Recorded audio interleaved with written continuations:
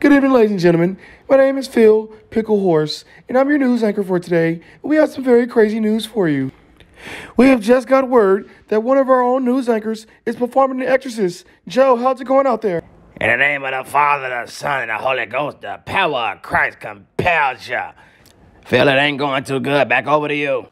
We've just received word that the mayor's car was vandalized, and we have Michelle to explain to us what's going on. Michelle, over to you.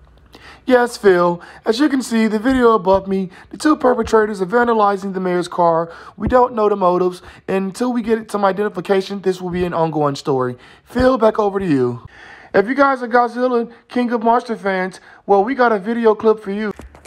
Earlier today at Dinosaur Academy, it appears that Barney the dinosaur and the Tyrannosaurus Rex got into a dilemma of who's the more popular dinosaur. When the two couldn't see eye to eye, a fight broke out.